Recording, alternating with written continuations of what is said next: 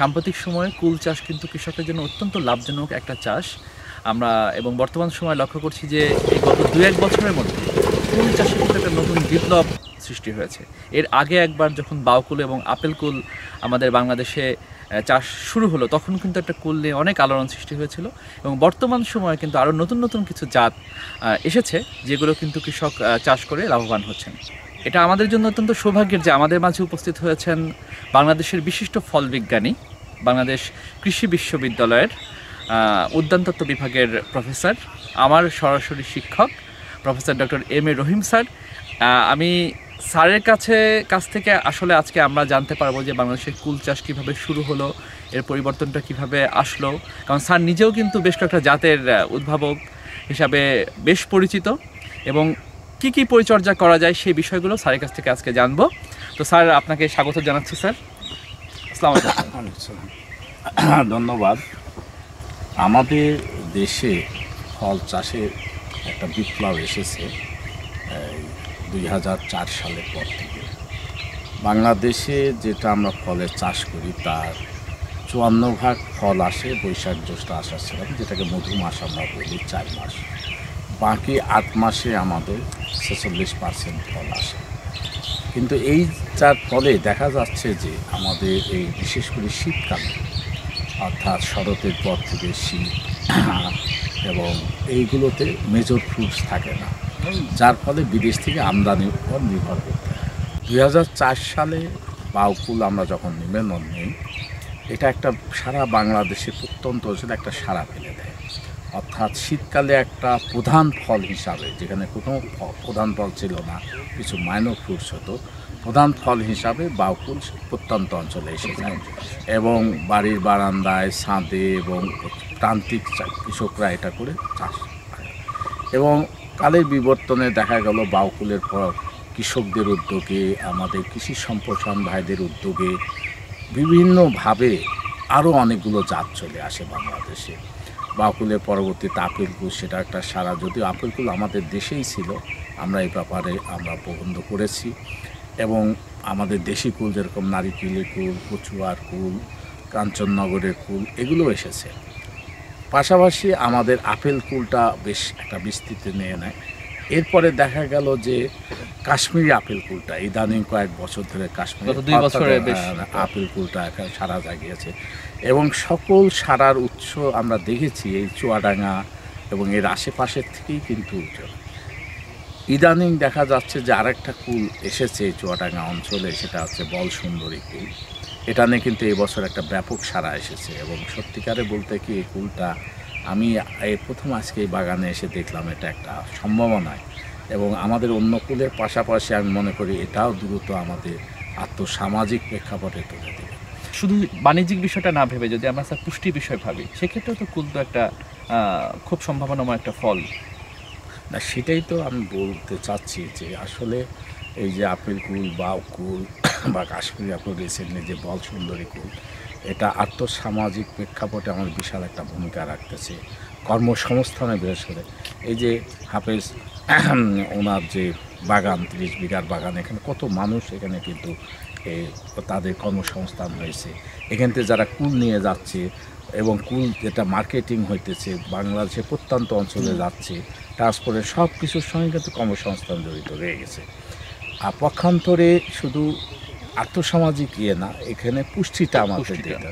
বাংলাদেশে এখনও প্রায় চল্লিশ মিলিয়ন মানুষ কিন্তু হিডেন হাঙ্গার বলে নিবর দুঃখিত অর্থাৎ deficiency in vitamins and minerals যেটা কিন্তু কুল বড়ই বিশাল একটা ভূমিকা রাখতেছে এখানে কাজে শীতকালে যেখানে আমাদের মধুমাসা আম জাম কাঁঠাল লিচু পেয়ারা যেভাবে আমাদেরকে পুষ্টি দিচ্ছে এই শীতকালে মেজর ফ্রুট হিসেবে এখন কিন্তু কুল চলে আসছে। আমরা বাজারে সেটা লক্ষ্য করি স্যার। আমরা যে বাজারে যাই এখন কিন্তু বিভিন্ন রকমের কুল সবই আমাদের দেশে উৎপাদিত হচ্ছে। হ্যাঁ এটা একটা বড় জিনিস কারণ বিদেশি আমদানি ফলের পাশাপাশি কিন্তু প্রায় দোকানেই দেখা যাবে আমাদের দেশি ফল এখন এসে গেছে।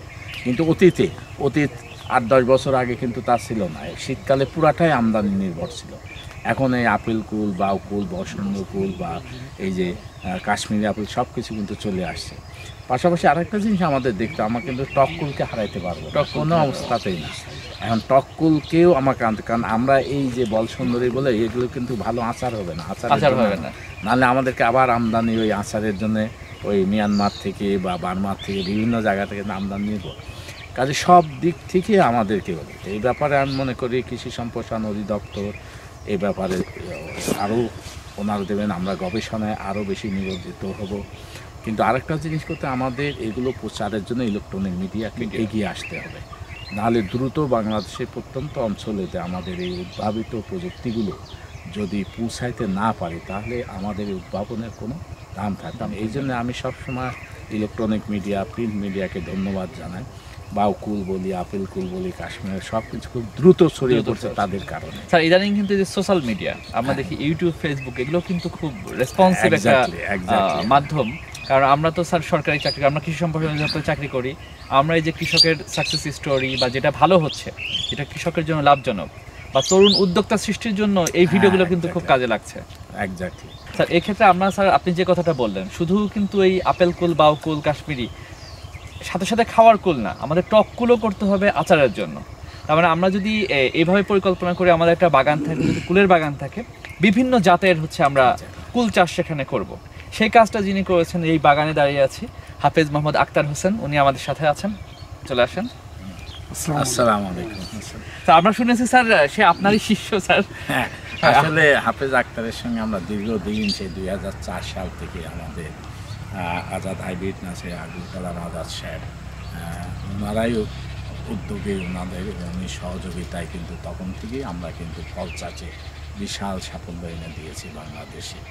এবং আজকে আমি যখনই জানলাম যে হাফেজ আক্তার সাহেব একটা বাগান করেছেন, তখন খুবই আপ্লুত হয়ে আমি খুলনায় যাওয়ার কথা, কিন্তু এই এদিক দিয়ে ঘুরে অসুস্থ হওয়া সত্ত্বেও এই বাগানটা দেখার জন্য এসেছি। এবং আমি মনে করি আমাদের আজকের এই প্রতিবেদন থেকে হাফেজ আক্তারের মতো আরও হাজারো যুবক, বেকার যুবক তারা এগিয়ে আসবে প্রয়োজনে নিজের জমি না থাক লিজ নিয়ে এই লিজ নিয়ে এগুলো করা। যায়। কারণ পরে এগুলো দেখা যাচ্ছে এক বছর এক বছরে কিন্তু ফল পাওয়া যাচ্ছে। আর হাফেজ আক্তার একটা জিনিস করেছেন যেটা আমি খুবই ভালো লাগতেছে যে যেটা আমরা বললাম টক ফুল বা আপেল ফুল বা ফুল সব কিছু এক বাগান থেকে পাইলে কিন্তু পুষ্টি কারণ এদের ভিতরে পুষ্টি ভিন্নতা রয়ে গেছে বিভিন্ন রকম ভিন্নতা। আর টক ফুল তো অবশ্যই যেটা বলেছি কিন্তু আছে, স্যার। ভ্যারিয়েশন হ্যাঁ। অর্থাৎ আমাদের যারা ভোক্তা তারা যাতে হ্যাঁ, হ্যাঁ। বিভিন্ন আসলে হাফেজ আক্তার যেটা করেছে যে প্রত্যেকটা গাছে অরিজিনালি কিন্তু অরিজিনাল রুট স্টকটা কিন্তু বাউকুল। স্যার আমি ওই পাশে আচ্ছা, গাছ দেখছি ওটা দেখে অরিজিনাল রুট স্টক কিছু বাউকুল। এবং উনি এই বাউকুলের উপরে হ্যাঁ প্রথমে দেখেন কিছু দূর উনি কিন্তু আপেল ফুল করেছে হ্যাঁ এরপরে কিন্তু বিভিন্ন জাত উনি নিয়ে এসেছেন। এবং এই প্রযুক্তিটা আরও সম্প্রসারণ হওয়া দরকার যদি দশটা ডাল থাকে উনি নিজে বলেছেন ওনার দশটা ভ্যারাইটি আছে। আর মানে দশটা ডালে দশটা ভ্যারাইটি দিয়ে দিলেন। তাহলে দশ রকমের আমরা ফল নিতে পারব। যে টক পছন্দ করে সে টক নেবে। মার্কেটে টকের ডিমান্ড থাকলে সে টকটা দিয়ে দিবে। আপেলের ডিমান্ড থাকে আপেল বাউকুলের ডিমান্ড থাকলে বাউকুল দিবে। সব কিছু কিন্তু ওয়ান স্টপ সার্ভিসের মতো হয়ে যায়। এটাকে আমরা কিন্তু টপ ওয়ার্কিং বলতেছি। অর্থাৎ এই যে আমরা কিছুদিন পরে হারভেস্টের পর কেটে দেবো।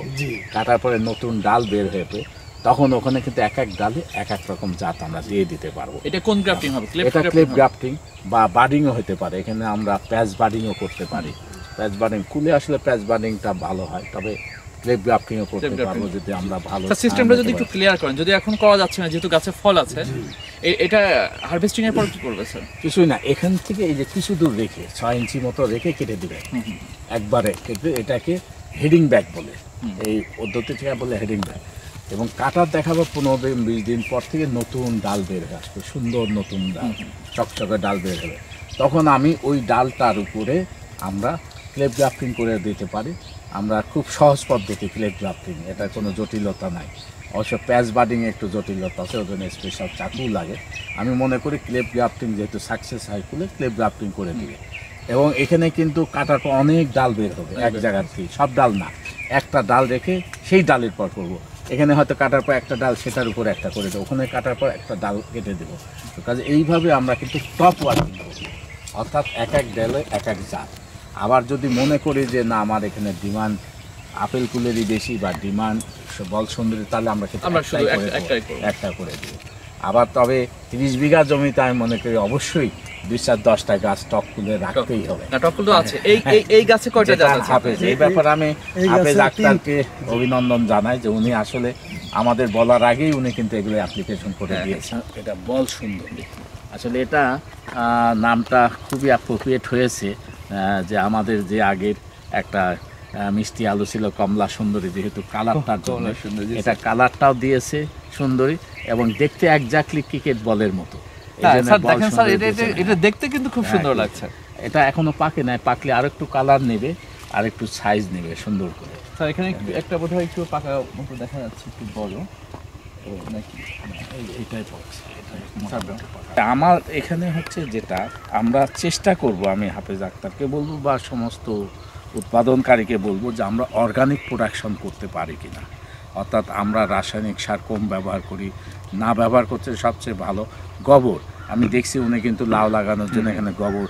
আমার মনে হয় গোবর অ্যাভেলেবল হলে গোবর। নাহলে এখন কিন্তু কম্পোস্ট সার কিনতে পাওয়া যায়। অর্ডার দিলে পৌঁছায় দিয়ে যায়। আপনার ওই মাশরুমের স্পনের থেকে কম্পোস্ট করে বা ভার্মি কম্পোস্ট করে নানা এগুলো আমরা ব্যবহার করতে পারি। আর এখানে পারতপক্ষে আমরা স্প্রে না করি। যেহেতু এটা আমরা সরাসরি। নানান রকম ভাইরাস এখন সারা দুনিয়াতে আসতেছে। আমরা চাইব যে ভোক্তা আমার উৎপাদনের মাধ্যমে কোনো ভোক্তা যেন ক্ষতিগ্রস্ত ক্ষতিগ্রস্ত না এই ব্যাপারে দেখতে হবে। এতে হয়তো আমরা যে স্প্রে না করি যেটা হয় যে কীটনাশক দেয় ওই যে মিলিবাগের কারণে। আমিও সেই বাগানে মিলিবাগ দেখছি না কোনো গাছেই দেখছি না। তবে অনেক সময় মিলিবাগ আসে বিশেষ করে আপেল কুলে মিলিবাগটা একটু বেশি তবে স্যার বাগান একটা পরি- পরিষ্কার পরিচ্ছন্ন হ্যাঁ, বাগান সবচেয়ে বড়, এটা নিচে মানে পরিষ্কার রাখতে হ্যাঁ, না হলে হ্যাঁ। কিন্তু আসবে এ ব্যাপারে অবশ্য উনি খুব সুন্দর করে রাখছেন। স্পেস দিয়েছেন আলো বাতাস যত বেশি আসবে তত সুন্দর হবে তত পোকামাকড় এ ব্যাপারে উনিও এগিয়ে আছেন। আমি আমি মনে করি সমস্ত কুল চাষি বাংলাদেশে যারা শুধু কুল চাষি না ফল চাষিরা অবশ্যই এই ব্যাপারে নজর দিবেন তারা যেন আলো বাতাস অবাধে চলতে পারে এরকম পরিস্থিতি যাতে করে যাতে আমরা ভোক্তাদেরকে অর্গানিক অর্থাৎ বিষমুক্ত নিরাপদ ফল দিতে পারি। স্যার একটা বিষয় আমি জানতে চাচ্ছি। স্যার এর আগে কিন্তু আপনি বলেন দু হাজার চার সালে বাউকুলের ব্যাপক প্রচার এবং প্রসার শুরু হয় আমাদের সারা দেশে। কিন্তু পরবর্তীতে কিন্তু সেটা একটা সেখান থেকে কৃষক আবার হ্যাঁ। চলে আসে। কারণ গাছগুলো অনেক বড় হয়ে যায় সেরকম সার তারা দিতে পারে নাই ম্যানেজমেন্ট করতে পারে না এটাই আমার কথা এটা করতে পারে না তখন তখন তারা আর কিন্তু সে প্রফিটটা পাচ্ছিল না। কিন্তু আমাদের এই হাফেজ সাহেব কিন্তু সেই গাছগুলো রেখে দিচ্ছে সেই সময় গাছ রেখে টপ ওয়ার্কিং যেটা বললেন উপরে কিন্তু এই কাজগুলো করছে। তো এটাও কিন্তু আমাদের কৃষকরা করতে পারে। অবশ্যই।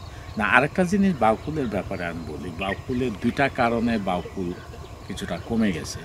একটা হচ্ছে যে কৃষকরা বাউকুল পরিপক্ক হওয়ার আগে মার্কেটে নিয়ে আসে হ্যাঁ। যার জন্য যে খায় পরে আর সে খেতে চায় না।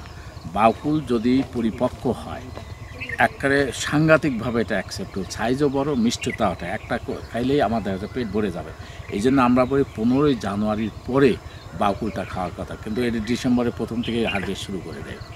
আর এখন কিন্তু এই চুয়াডাঙ্গা এলাকা আমি একজাক্টলি জানি কোনো একটা জায়গায় সে আপনাদের জানা থাকতে পারে। কোনো জায়গায় সে কিন্তু বাউকুল একশো বিশ টাকা কেজি বিক্রি করে তার বাগানে। সে প্রত্যেকটা বাউকুল কিন্তু পলিথিন দিয়ে ঘিরে দেয়। প্রত্যেকটা? প্রত্যেকটা বাউকুল ঘিরে দেয় এবং বাউকুল ছোট অবস্থায় সে অর্ধেক ফেলে দেয়। যার ফলে তার বাউকুল দুইশো দুইশো দশ গ্রাম এরকম হয়। এবং কালার নেয়। ইয়া কালার যেরকম আমরা আমের ব্যাগিংয়ের কথা বলি ওই। এতে যেহেতু সে ইয়ের থেকেই সম্ভবত ঝিনাইদায় হবে, আমি এটা প্রতিবেদনটা দেখলাম, আবার অনেকেই বলছে আর কি। এর আগেও আমি দেখেছি ভিজিট করে যেমন একজাক্টলি মনে নাই। তো আমাদের আর একটা জিনিস এখন যেটা করতেছে, বাউকুল চাষ আমাদের নাটোর এলাকা, বিভিন্ন, তারা বেগুন চাষের বা মরিচ চাষের মতো। এই এপ্রিল, মে মাসে লাগিয়ে দিচ্ছে, দিয়ে ডিসেম্বর, জানুয়ারি, ফেব্রুয়ারিতে বাকুল নিচ্ছে হারভেস্ট করে, তারপর গাছ কেটে দিয়ে আবার লাগাইতেছে। কাজে প্রথমে যে তিরিশ কেজি বা পঁয়ত্রিশ কেজি গোবর সার দিচ্ছে বা অন্যান্য সার দিচ্ছে এতেই দশ বারো বিশ কেজি করে আসতেছে ঘন করে রেজ প্লান্টিং। আচ্ছা এই পদ্ধতি কিন্তু আবার বাকুল চলে আসছে। এবার আমরা যদি নাটোরের আড়তগুলোতে যাই গতবারে সেবার দেখা যায় দশ গুণ তার আমদানি হয়েছে। ওই যে অ্যানুয়াল সিস্টেমে চলে গেছে। এটা আমিও বলতে চাচ্ছিলাম স্যার এখন কুল কিন্তু এই যে মানে হ্যাঁ। ওই অ্যানুয়াল ফসল হিসাবে আসছে মানে এক বছরেই। দখলে কেটে দিচ্ছে আবার হচ্ছে। বা একদম সম্পূর্ণ তুলে ফেলে আবার কুলের চারা লাগাচ্ছে। হ্যাঁ। কারণ হয় কি ওই দ্বিতীয় বছর থেকে গাছ অনেক বড় হয়ে যায় ওই পরিমাণ সার কিন্তু আর ওই পরিমাণ সার দিতে পারে না ডালপালা বড় হয়ে যায় ম্যানেজ করতে পারে না পারে জন্য ওই বাকুলের প্রোডাকশন কমে গেছে আমি হাফিজ সাহেবের কাছে জানতে চাচ্ছি যে আপনার যে তিরিশ বিঘার জমি এর আগে আমরা বলসুন্দরীর আমরা ভিডিও হচ্ছে দেখলাম তো এই যে তিরিশ বিঘা জমিতে আপনি বললেন সাতটারও বেশি হচ্ছে জাত আছে তাই না? আপনি তো বিক্রি শুরু করছেন। আমরা দেখলাম যে প্রতিদিন আপনার এখান থেকে হচ্ছে কার্টুনে করে বিভিন্ন জায়গাতে যাচ্ছে হ্যাঁ? তো আপনি কেমন দাম পাচ্ছেন? কোথায় কোথায় বিক্রি করছেন? এবং এই তিরিশ বিঘা থেকে আপনি কত টাকা এই বছরে আশা করেন? আমি দেশের বিভিন্ন অঞ্চলে কুল পাঠাচ্ছি সেখানে বিক্রি করে মোটামুটি সবচেয়ে বড় সমস্যার কথা হচ্ছে এখানে প্রচুর লেবার খরচ হয়। প্রচুর লেবার খরচ হয়। কৃষক মানুষ আমরা সময় মতো আমাদের টাকা পয়সা থাকে না, যে কারণে একটা সমস্যা সৃষ্টি হয়। তো পর্যাপ্ত পরিমাণ অর্থকরী যদি যোগান থাকে, শুধু বল সুন্দরী নয়, এখানে বিভিন্ন রকম জাত আমি সৃষ্টি করে মোটামুটি দেশের উপকার আসতে পারি। ঠিক আছে আপনি যে বললেন লেবার লেবার খরচ হয় এটা কিন্তু সৃষ্টি না অবশ্যই। আপনার কতজন কাজ করে আমার এখানে প্রতিদিন তিরিশ পঁয়ত্রিশ জন কাজ করে। তিরিশ পঁয়ত্রিশ জন কাজ করে মানে তিরিশ পঁয়ত্রিশ জনের সংসার জি। এখান থেকে কাজ কাজ করে চলে তাই না? এটাও তো খুব একটা সোয়াবের কাজ না, এবং না, একটা অবশ্যই। ভালো কাজ। তো আপনি কত টাকা আশা করছেন যে এবার? তিরিশ বিঘা জমিতে মোটামুটি আমি তিরিশ লক্ষ টাকা আশা করছি। কমপক্ষে প্রফিট আশা করছেন তাই না? সব খরচ টরচ বাদ দিয়ে। খরচ টরচ বাদ দিয়ে। আচ্ছা আর কোথায় কোথায় বিক্রি করেন? আমি দেশের বিভিন্ন অঞ্চলে ঢাকা চিটাগাং সৈয়দপুর রাজশাহী দেশের বিভিন্ন অঞ্চলে এবং অনেক আছে আড়তদার আমার এখান থেকে নিয়ে যায়। এটা কি এটা কি তারা ডিমান্ড দেয়? না আপনি একদম দিয়ে পাঠান সেখানে আমি দিয়ে পাঠাই ওনারা বিক্রি করে আমার একটা অ্যাকাউন্টে অ্যাকাউন্টে টাকা পাঠাই দেয়। ঠিক আছে। তাহলে আপনি সেই দুই হাজার চার সালে শুরু করছেন এই বাগান। আমাদের স্যারের শ্রদ্ধেয় স্যারের হাত ধরেই এই বাগানের হচ্ছে সৃষ্টি এবং স্যারকে আমি বলেছি স্যার আপনার আপনার বাগান। আসলে না। কুলটা হচ্ছে আমাদের স্যারেরই বাগান। এখন নতুন করে আবার আলোচিত হচ্ছে। স্যার এই কুল চাষের যারা আগ্রহী আমরা দেখলাম অনেক তরুণ শিক্ষিত যুবক কিন্তু এখন কৃষিতে আগ্রহী হচ্ছে।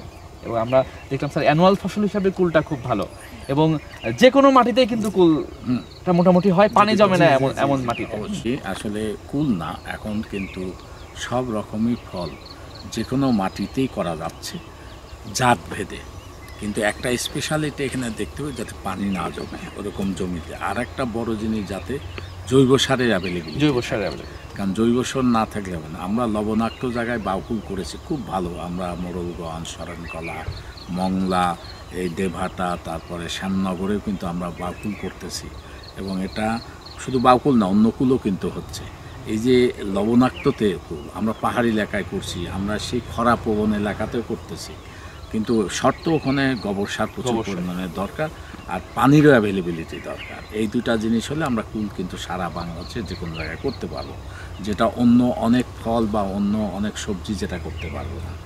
তো আর আমরা মনে করি যে আমাদের যুবক ভাইয়েরা যারা এখনও বেকার আছেন আমাদের হাফেজ আক্তার ভাইয়ের মতো তার এই উদ্ভাবন তার এই কর্মকাণ্ড নিয়ে আপনারা অনুপ্রাণিত হবেন এবং প্রত্যন্ত বাংলাদেশে প্রত্যন্ত অঞ্চলে চাষ করে আমরা বেশ কিছু লোক আসতেছে। নান্দাইলে একজন কিন্তু সে জাহাজ কোম্পানিতে চাকরি করে সে অলরেডি বিরাট বাগান করে ফেলছে। আমাদের সেলিম রেজার কথা শুনছে নাটোর এলাকায় গেলে দেখুন প্রচুর এই যুবকরা তারা কিন্তু উদ্যোগী হয়ে কাজগুলো করতেছে। আর একটা জিনিস যে সুখের ব্যাপার সুখবর এখন কিন্তু ইন্ডাস্ট্রিও এগিয়ে আসছে। ইন্ডাস্ট্রি বিভিন্ন ইন্ডাস্ট্রি এগিয়ে আসছে। ইন্ডাস্ট্রিগুলো তাদের খালি জায়গাগুলোতে বা পতির জমি বা তারা দখলে রেখেছে জমিগুলো। সেগুলোকে এখন তো চাষের। আমরা রিসেন্টলি কিন্তু নারিশে তাদের বিশাল একটা বাগান করে দিয়েছি। তাদের অনেক জায়গা পড়ে আছে। এই জায়গাগুলোতে এখন বাগান এবং বেলে মাটি একদম হ্যাঁ। বালু বালুর বালু। চর। আমরা যেরকম আব্দুল মোমেন গ্রুপে জিএম পঁয়ত্রিশ ফিট বালুর উপরে। আপনার ইউটিউবে দেখবেন যে ড্রাগনের চাষ করে দিয়েছি বাউকুলের চাষ করেছি এখন করতেছি সফেদা এবং শরীফাটা ওই পঁয়ত্রিশ ফিট বালির উপরে। আবার ধামরায় আমার সরি গজারিয়াতে আমাদের ডিআইইউ ডাফুল ইন্টারন্যাশনাল তাদেরও বিরাট বাগান করে দিয়েছে আট ফিট বালির উপরে। কাজেই বালি হোক আর এঁটেল মাটি হোক লাল মাটি সব মাটিতেই আমরা বিশেষ করে কুল বা অন্য করতে পারব। কিন্তু শর্ত হচ্ছে পানি জমতে পারবে না শর্ত হচ্ছে ওখানে প্রচুর পরিমাণে গোবর সার দিতে হবে আর শর্ত হচ্ছে যে হ্যাঁ সেচের ব্যবস্থা থাকতে হবে। তাহলে কিন্তু। সূর্যের আলো- আলো, সূর্য তো তো এই সমস্ত জায়গায় থাকেই কাজে সূর্যের আলো ছয় থেকে আট ঘণ্টা সূর্যের আলো লাগবে। তো আমি মনে করি আমার হাফিজ আক্তার ভাইয়ের মতো এবং আমাদের কৃষি সম্প্রসারণ অধিদপ্তর যেভাবে চুয়াডাঙ্গা এই এলাকাতে মেহেরপুর এলাকাতে সম্প্রসারণ করেছে এই উদ্যোগটা সারা বাংলাদেশে ছড়িয়ে পড়বে। এই কামনা করে আমি মনে করি বাংলাদেশ আবারও আমাদের কৃষি সঞ্চালকের দ্বারা কৃষি অফিসার তাল্লা জুবায়ের এবং আমাদের হাফেজ আক্তার ভাইকে ধন্যবাদ দিচ্ছি বাংলাদেশ কৃষি বিশ্ববিদ্যালয়ের পক্ষ থেকে। ধন্যবাদ স্যার আপনার মতো এত বড় একজন ফল বিজ্ঞানী আমাদের এখানে এসেছেন। আমার মনে হয় যে এখান থেকে আমাদের তরুণ কৃষি উদ্যোক্তা যারা তারা অনুপ্রাণিত হবেন। তবে একটা কথা যে কথাটা সবসময় বলি সঠিক চারা কিন্তু নির্বাচন করতে হবে। অনেক সময় আমরা ভিডিও দেখি অনেক টাকা লাভের বিষয়ে আমরা দেখি শুধু টাকা ইনভেস্ট করলেই হবে না। প্রথম যেটা দরকার ডেডিকেশন সেখানে একদম ক্লোজ মনিটরিং করতে হবে নিজে উপস্থিত থেকে করতে হবে আর সঠিক চারাটা সঠিক জায়গা থেকে সংগ্রহ করতে হবে। আমাদের কিন্তু এখন বিভিন্ন জায়গায় চারা অনেকেই চারা বিক্রি করা শুরু করছে। এই চারা যেহেতু একটা ডিমান্ড হয়েছে সবাই চারা জি জি জি। তেমন চারা দেখা যাচ্ছে বিক্রি করা শুরু করছে নিজের বাগান না থাকা সত্ত্বেও। অতএব আমাদের পরামর্শ হচ্ছে আপনারা সরকারি হর্টিকালচার সেন্টারে যেতে পারেন। আমাদের বাংলাদেশ কৃষি বিশ্ববিদ্যালয় জার্ম প্লাজম সেন্টার সেখানেও বিভিন্ন জাতের ফলের চারা পাওয়া যায় সেখানে পেতে পারেন। অথবা আমাদের এই হাফেজ আক্তার হোসেনের মতো যাদের ফলের বাগান আছে সেই বাগানে এসে সরাসরি ফল দেখে খেয়ে এইখান থেকে যে সাউন্ডটা হবে সেই সাউন্ডের যে চারা সেটা কিন্তু নিতে হবে। এবং এটা সব ফলের ক্ষেত্রেই এই কাজটা করতে হবে। এবং কৃষি অফিসের সঙ্গে যোগাযোগ এবং রেখে কৃষি অফিসের সাথে যোগাযোগ রেখে বাগান করার ক্ষেত্রে।